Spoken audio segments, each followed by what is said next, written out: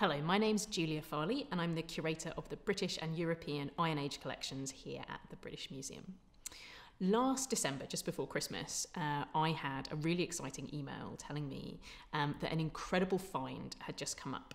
Um, two detectorists have been working in the parish of Leekfrith and um, they had found um, four objects. Uh, so we have three gold torcs, so big kind of solid metal neck rings, um, and one beautiful, very fine gold bracelet. Um, and I went straight out to Staffordshire to see them, uh, and they are incredibly beautiful objects. They're made of um, almost pure gold.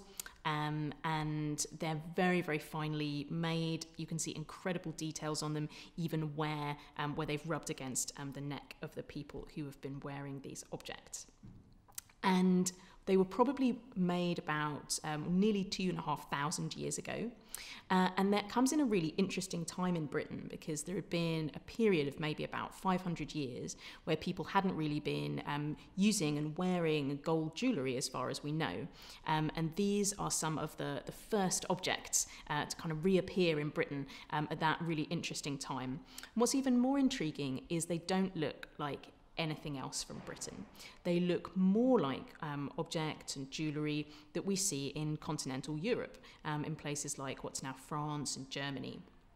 And what's most likely uh, is that these are objects which had been worn by empower- powerful, important women, and that they've maybe been imported from the continent into Britain, um, whether they've come over um, in trade, as gifts, or perhaps even been um, brought over by the women who owned them. So these objects tell a really wonderful story, uh, and what's going to happen to them next is that hopefully they are going to be acquired by a museum.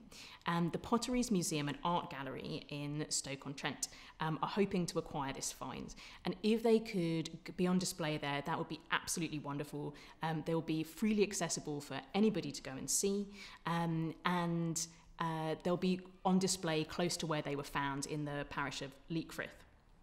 So I would really love to see that happen.